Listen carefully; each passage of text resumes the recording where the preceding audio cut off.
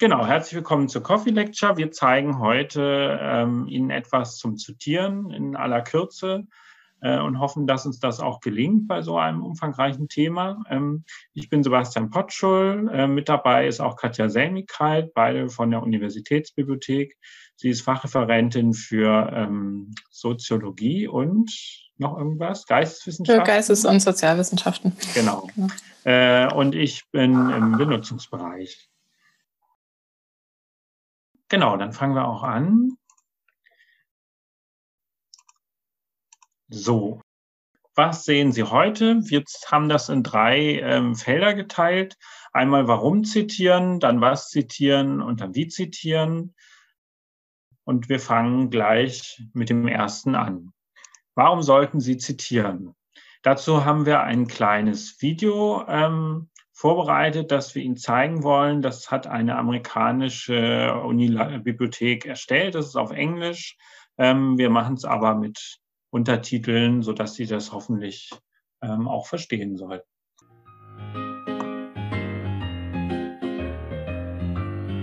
Genau, soweit erstmal. Ja, ähm, wir hoffen, dass Sie ähm, bisher eher nicht so wie äh, Diane gearbeitet haben und es eher wie Jack gemacht haben. Ähm, ja, und ansonsten ähm, wollen wir Ihnen jetzt zeigen, wie es genau geht.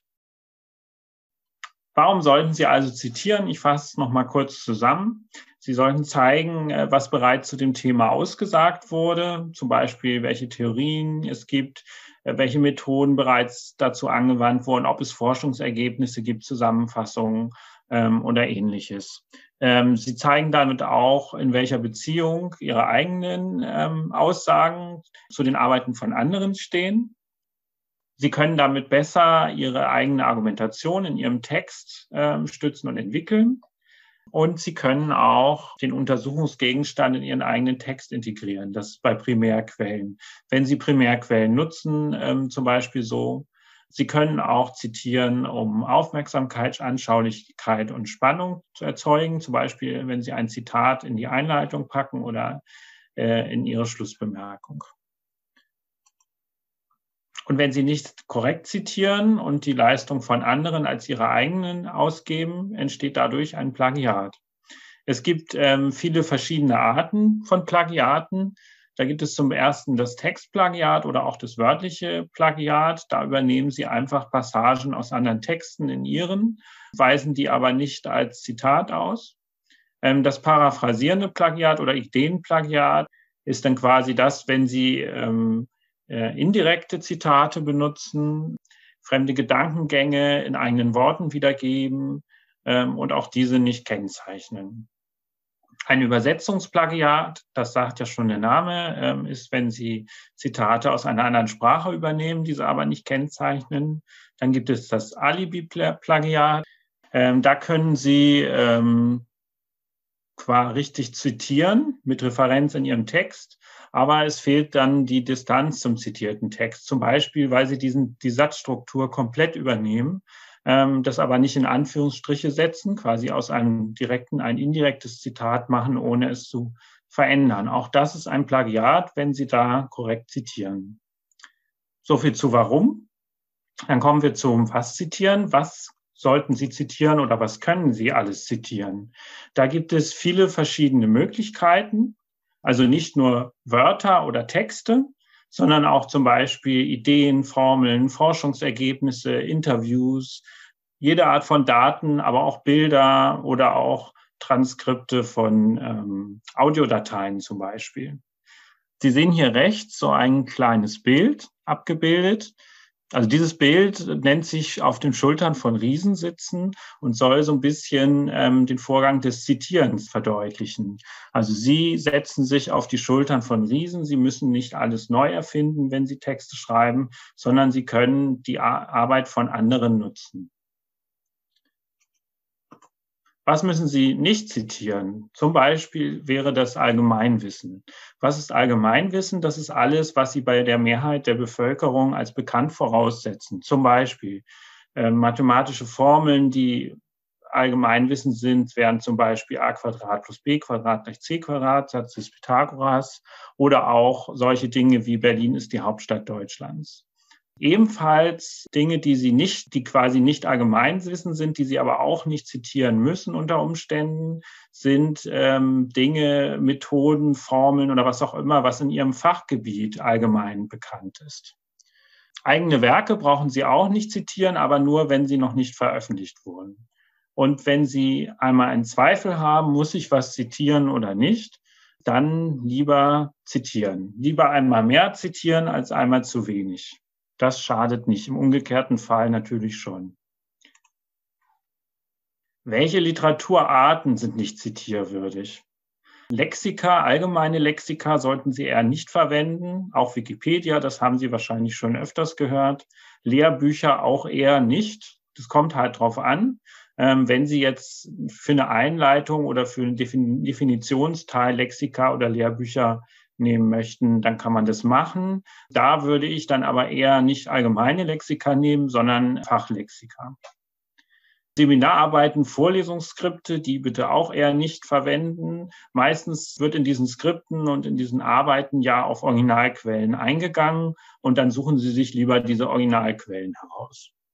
Populärliteratur wie Romane, Boulevardzeitungen, Publikumszeitschriften, also sowas, so, solche Zeitschriften, die Sie an jedem Kiosk kaufen können, die auch nicht zitieren. Es sei denn, Sie schreiben in Ihrer Arbeit, also das ist Gegenstand Ihrer Untersuchung. Wenn Sie eine Arbeit über die Bild schreiben, dann können Sie die natürlich verwenden. Dann ist es nicht mehr aber Sekundärquelle, sondern die Primärquelle. Private Websites, ähm, da sollten Sie wirklich schauen, sind die wissenschaftlich, ist das wissenschaftlich geschrieben?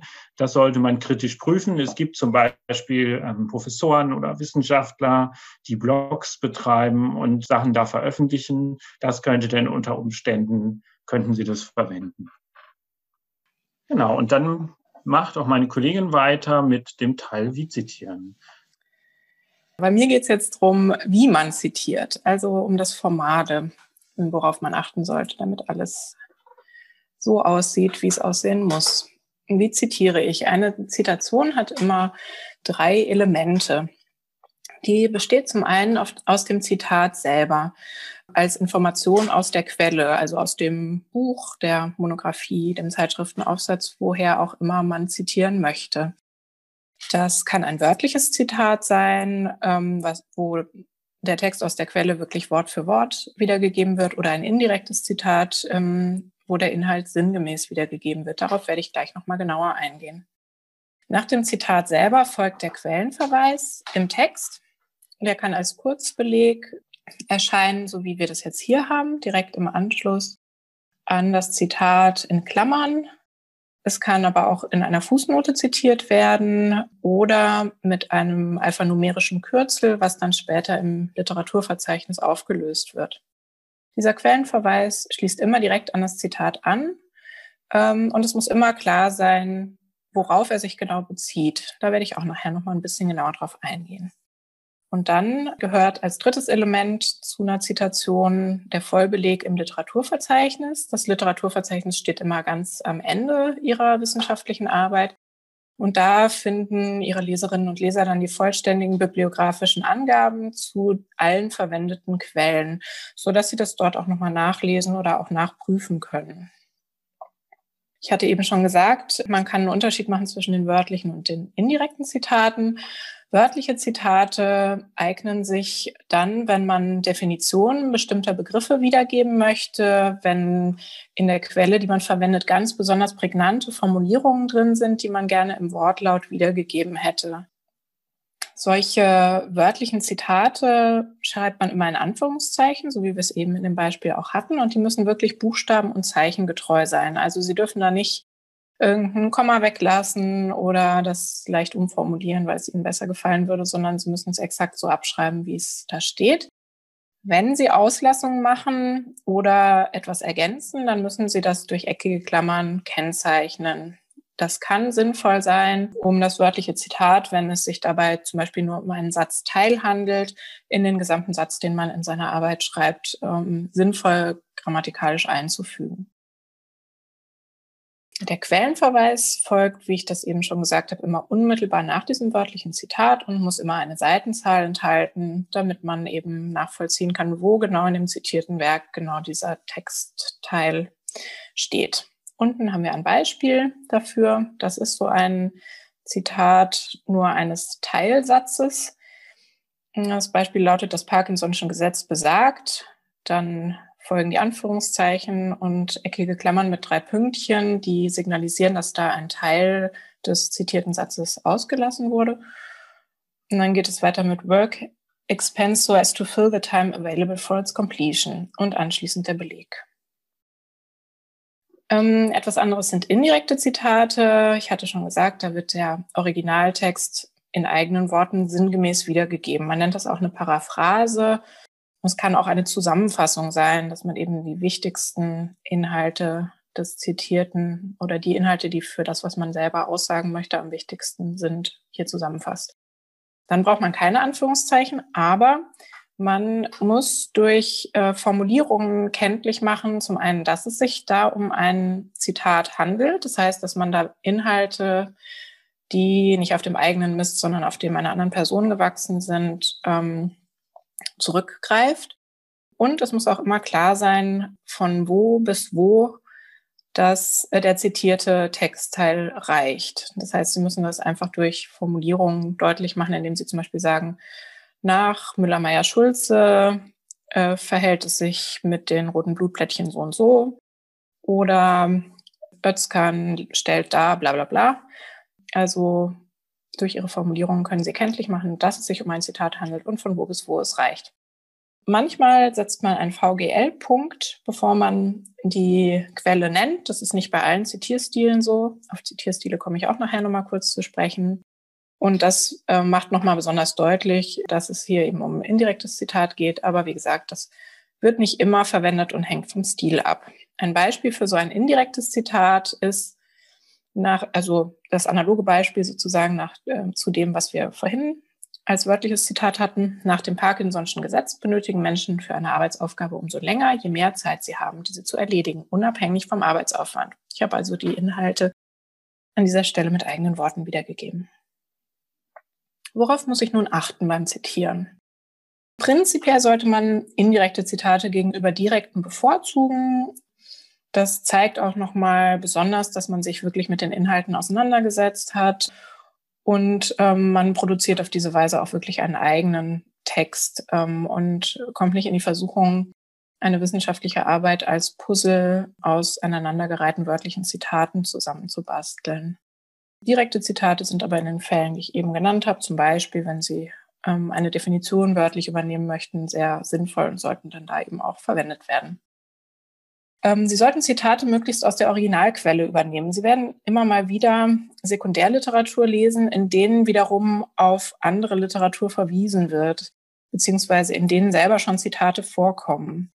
Äh, wenn Sie dieses darin zitierte Zitat selber zitieren wollen, jetzt wird es kompliziert, sollten Sie immer sich aus einer Bibliothek Ihres Vertrauens die Originalquelle suchen und dort nochmal genau nachlesen und von dort das Zitat übernehmen, denn es ist schon oft vorgekommen, ähm, dass an einer Stelle mal falsch zitiert wurde und andere Autorinnen und Autoren das dann aus dieser falschen Übernahme wiederum übernommen haben und so in einer Art stille Posteffekt das Ganze weitergetragen wurde, bis irgendjemand mal im Original nachgelesen hat und gemerkt hat, dass ähm, da ein Fehler bestand.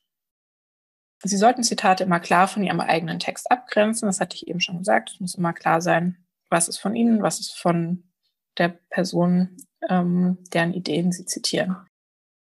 Der Quellenverweis muss ebenfalls eindeutig dem Zitat zugeordnet sein. Es kann mal sein, dass Sie mehrere Quellen in einem Satz zitieren. Muss klar sein, ähm, welcher der Belege, die Sie dann anbringen, zu welchem Zitat gehört. Und Sie sollten auch wirklich nur zitieren, was für die eigene Argumentation nötig und sinnvoll ist. Wenn Sie eine soziologische Arbeit über das Thema Arbeit schreiben und denken, oh, wenn ich sowas schreibe, dann muss ich unbedingt Karl Marx zitieren. Dann basteln sie da irgendein Zitat von ihm rein, auch wenn es eigentlich für ihre Argumentation gar nicht notwendig und sinnvoll ist. Das ist nicht, ja, so ist es nicht gedacht, sondern sie sollten wirklich nur die fremde Literatur hinzuziehen und zitieren, die Sie für Ihre Argumentation brauchen. Und schließlich sollten Sie formal einheitlich zitieren. Es gibt über 9000 Zitierstile. Das ist kein Witz. Ähm, die unterscheiden sich durch allerlei Formalia. Bei dem einen ist an einer Stelle ein Komma oder ein Semikolon, wie auch immer. Bei dem anderen nicht. Sie sollten sich einen auswählen und den durchgängig verwenden. Fragen Sie gern Ihre Dozentin oder Ihren Dozenten, ob die irgendeine Präferenz haben und verwenden Sie dann diesen Stil.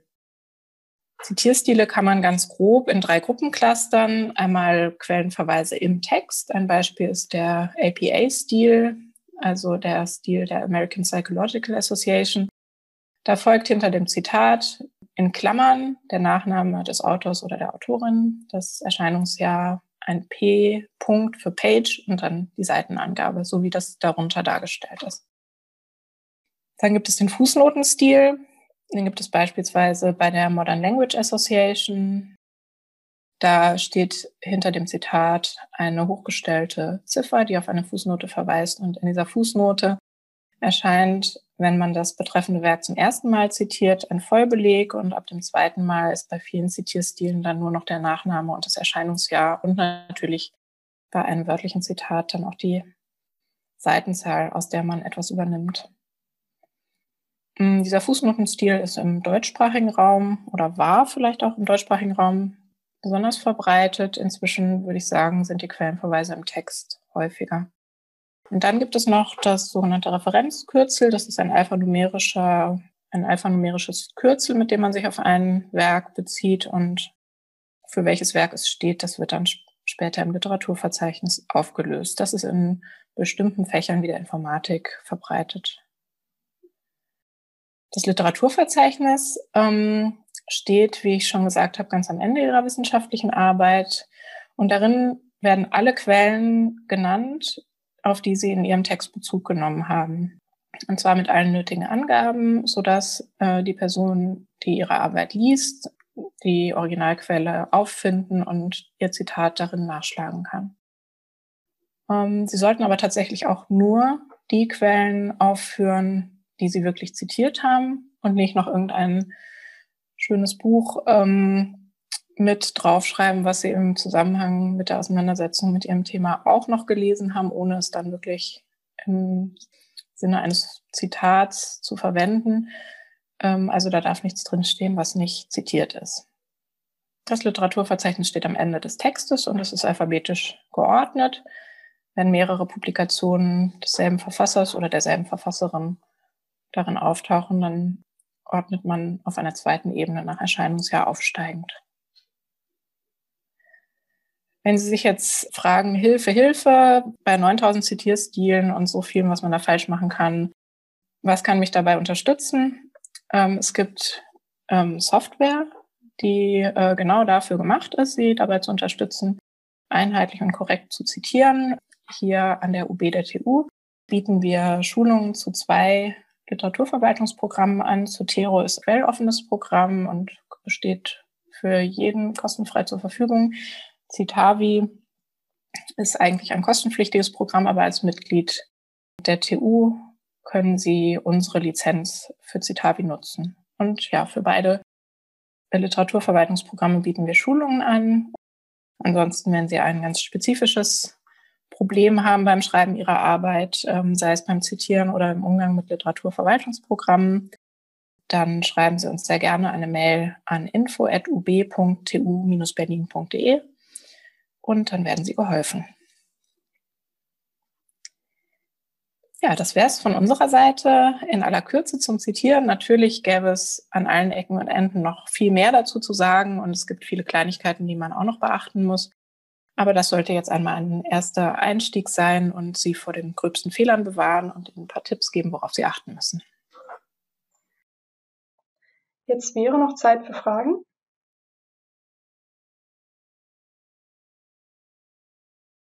Es ist ein bisschen schwierig, das so abstrahiert und ohne ein konkretes Beispiel äh, zu beschreiben.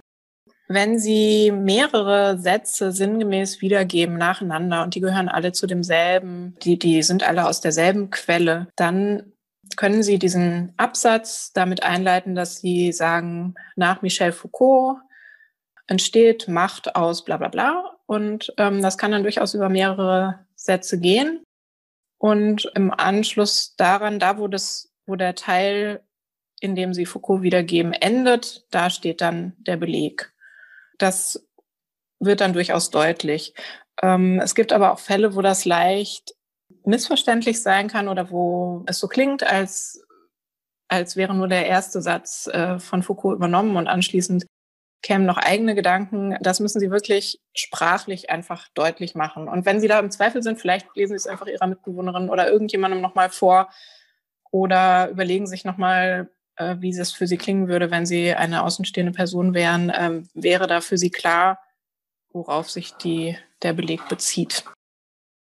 Wobei ich das jetzt so verstanden hatte, ob es, dass die Frage oder Fragende meinte, ähm, ob man jedes Mal schreiben muss nach XY und ob es nicht reichen würde, einfach nur den Beleg am Ende anzugeben. Und das würde ich schon sagen, oder? Ja, das reicht auf jeden mhm. Fall, genau. Mhm. Mhm. Nur wenn Sie mehrere Leute zitieren hintereinander, dann sollte nach jedem Teil, also wenn Sie sich einmal auf Foucault und einmal auf Judith Butler und einmal auf jemand anderen zitieren, dann sollte nach jedem Teil direkt der Beleg kommen für das Werk, auf, der, auf das Sie sich berufen. Genau, und das können ja für einen Teil auch durchaus mehrere sein. Das geht auch. Also Sie können auch mehrfach Zitat machen. Genau, also das wäre zum Beispiel der Fall, wenn Sie sagen, in der Philosophie gibt es mehrere Vertreterinnen der Auffassung, dass bla bla bla. Und dann schreiben sie hm, in Klammern zum Beispiel, und da könnten sie dann auch mehrere Personen anbringen, die diese Auffassung vertreten. Wenn Sie sehr nah in der Formulierung an dem Original dran sind, also so, dass es quasi einfach nur eine Übersetzung ist, dann würde ich tatsächlich sagen, dann zitieren Sie lieber wörtlich. Ansonsten, wenn Sie sich davon ein bisschen entfernen und einfach die Inhalte mit Ihren eigenen Worten in einem größeren Satz wiedergeben oder so, dann, dann ist es aus meiner Sicht okay, wenn Sie das selber übersetzen und da auch nicht nochmal extra das kenntlich machen, ähm, dass das Ihre Übersetzung ist. Denn wie gesagt, es ist ein indirektes Zitat ist ja immer etwas, was man mit eigenen Worten wiedergibt und in diesem Fall eben in eigenen Worten in, in deutscher Sprache. Sie geben ja auch immer den Beleg der Originalquelle an und wer möchte, mhm. kann sich die dann ja auch anschauen. Dann vielen Dank fürs Kommen und vielleicht bis zur nächsten Coffee Lecture.